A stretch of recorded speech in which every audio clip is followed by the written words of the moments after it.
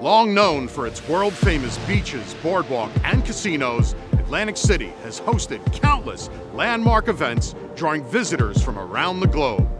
Today, Mr. America begins its resurgence as the world's most iconic bodybuilding competition.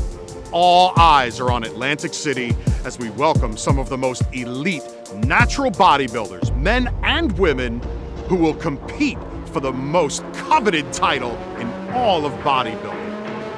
Everything starts now.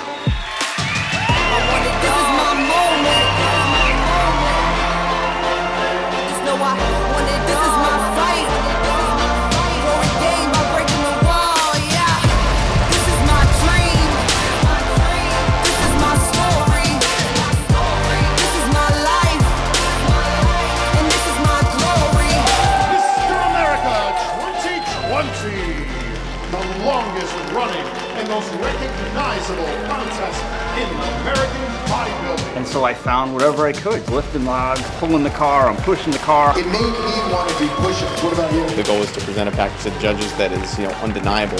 You are the new 2020 Mr. America.